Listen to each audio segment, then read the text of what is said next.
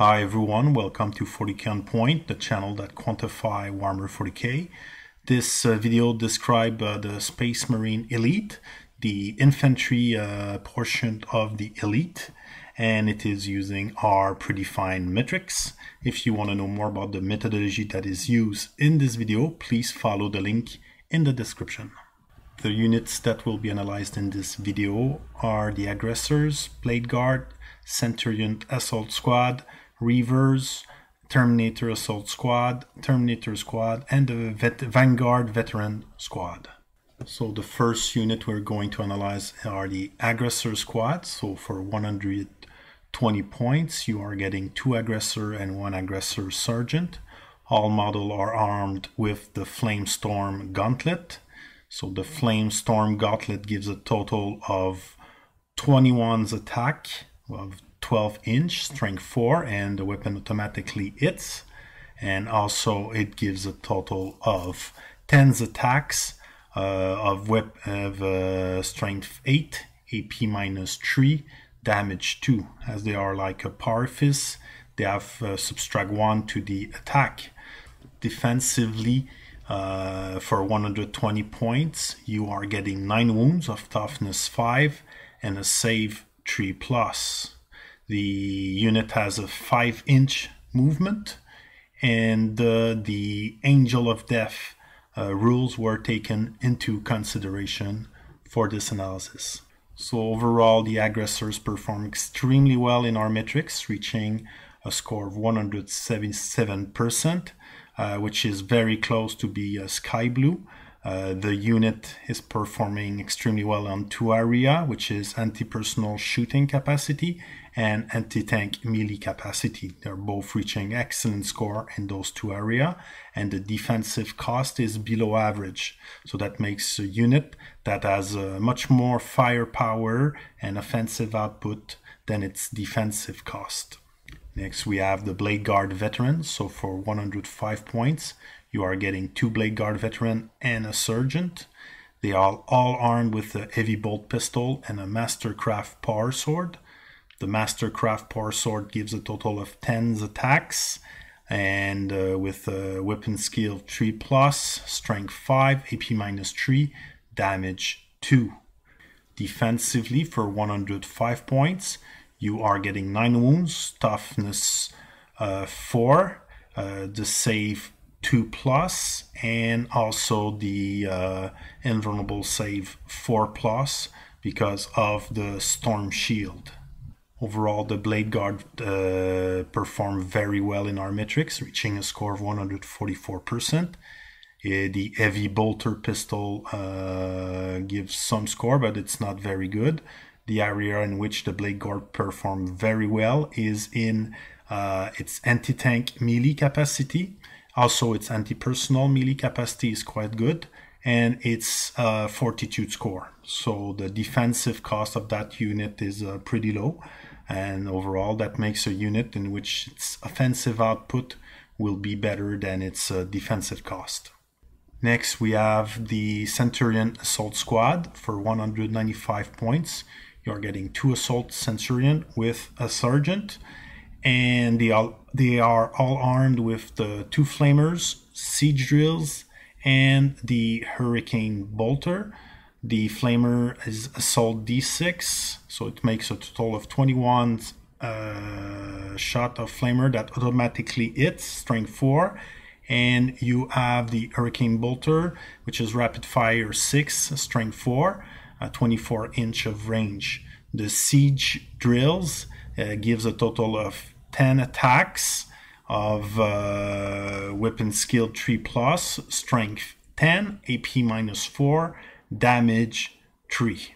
Defensively, 195 points buys you uh, 12 wounds of toughness 5 and a save 2 plus that configuration of the Centurion Assault Squad performed extremely well, reaching a sky blue score of 234%.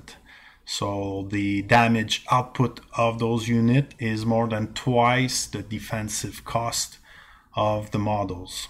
So they're reaching a two excellent score First, the anti-tank melee capacity is way above the norm. It is uh, per point one of the best damage seeking against a, a vehicle of all the warmer units. It is it is very very very strong before any force multiplier, and the anti-tank anti-personal shooting capacity both with the Flamer and the Hurricane Bolter, makes the unit almost uh, sky blue in anti-personal shooting capacity. So it's a very flexible unit. Uh, the defensive cost is very close to uh, the norm of 10. So uh, it makes a unit that just has a lot of damage output. Next, we have the Reiver squad. So for 90 points, you are getting four Reiver with one Sergeant, all armed with the special issue uh, bolt pistol and the combat knife. So the special issue uh, pistol is a strength 4 AP minus 2. The combat knives gives 16's attack, uh, strength 4, no armor penetration or uh, damage. The unit also is having a very standard intercessor uh, stat line. Defensively, for 90 points, you are getting 10 wounds of toughness 4 and a save 3 plus. There was no uh, grapple launcher or reiver grav chute option, neither was uh, terror troops uh, taken into consideration for this matrix.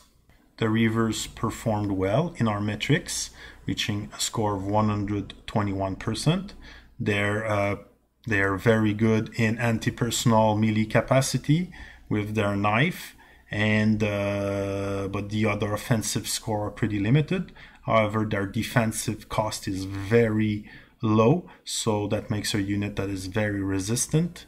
So the because the defensive cost is extremely low, that makes a unit in which the damage output is still a bit better than than than, than the defensive uh, capacity. So that's why it makes a unit that is a bit better than worth its point. Next, we have the Terminator Assault Squad for 165 points. You are getting four Assault Terminator plus a Sergeant. They are all armed with two Lightning Claws. So the Lightning Claws gives uh, 21's attacks of uh, Strength 4, uh, but there's a reroll to the wound roll and AP minus 2. Um, there's no uh, shooting capacity on this unit. So defensively for 165 points, you are getting 15 wounds of toughness 4, save 2 plus, and invulnerable, invulnerable save 5 plus. Teleport strike was also considered for this metrics. Overall, the Terminator Assault Squad performed very well in our metrics, reaching a score of 130%. Its offensive is uh, essentially anti-personal, but uh, it is very close to a 3-star in its anti-tank capacity, thanks to the reroll and what makes the unit also very good is its uh, very low defensive cost. So its uh, fortitude score is pretty uh, uh, very, very, very tanky and resistant unit per point. So that makes a unit in which its, its offensive output uh, is a bit better than its uh, defensive cost. Next, we have the Terminator Squad for 190 points you are getting four terminator and a sergeant. The all the terminators are armed with storm bolters the uh, sergeant is armed with a power sword. And the uh, the other terminators are armed with the chain fist. So um, overall the uh, storm bolter uh, gives a lot of strength for attack at 24 inch uh, with uh, ballistic skill 3 plus.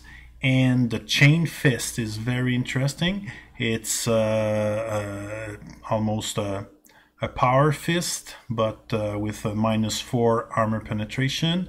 And when it attacks vehicle its damage turns to 3 so it's a very very efficient damage output with no point increase. So that's how they were equipped defensively 190 points. Buys you 15 point 15 wounds of toughness 4 save 2 plus.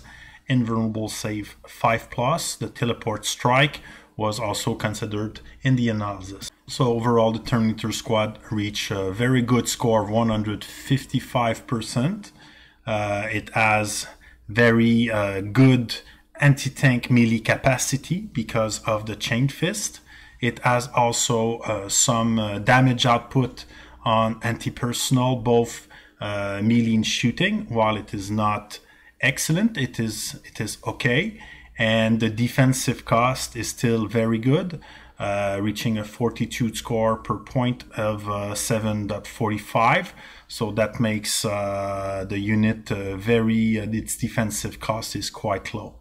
So overall, that makes a unit that uh, its offensive output uh, is better than its uh, defensive cost. So that makes a unit that definitely is worth its point. Next, we have the Vanguard Veteran Squad. So for, for 140 points, you have five models. They all are they are all armed with the uh, Lightning Claw, Storm Shield, and Jump Pack. So it gives 16 attacks of strength 4 and with a reroll to the wound roll, AP minus 2. There's no uh, range uh, weapon capacity. And for 140 points, you are getting 10 wounds of toughness 4, save 2 plus, and 4 plus invulnerable save. Uh, with the jump pack, the move capacity turns to uh, 12 inch and it has the death from above ability. So overall, the Vanguard uh, veteran squad perform uh, well in our metrics, but not quite good compared to the other uh, Space Marine Infantry Elite choice. Uh, it gives a bit more damage output than its cost, than its defensive cost. So uh, that makes a unit that is very good in uh, anti-personal melee capacity, very good mobility, and uh, a good also the defensive cost, but its damage output because it has no shooting capacity is also a bit more limited. Uh, but that's still a, a, unit that can be uh, uh used in a friendly environment. So overall, a lot of good units in uh, the elite choice for the uh, infantry elite choice for the Space Marine. It's worth noting that uh, almost all the units are good in close combat. Uh, so the elite unit of the Space Marine, uh, the infantry portion, is definitely dedicated towards uh, close combat. Uh, its shooting capacity, uh, only the aggressor and the Centurion per point that has a good anti-personal shooting capacity with their flamers. Uh, also, the, the fortitude cost, so the defensive uh, capacity of the unit is pretty, pretty good uh, overall for all the choices. So that makes overall a lot of units that are uh, interesting for Space Marine players. Quick analysis for uh, those units.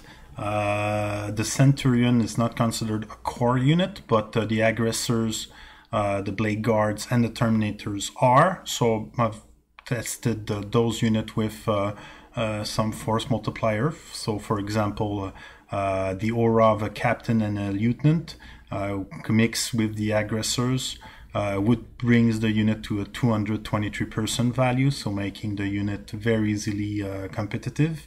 a chaplain paired with a blade guard uh, it allows to re-roll the uh, uh, the two hit in the melee, so it has a huge impact on the offensive output of the blade guard. So that brings the unit to 255% of value, very easy with only one uh, headquarter.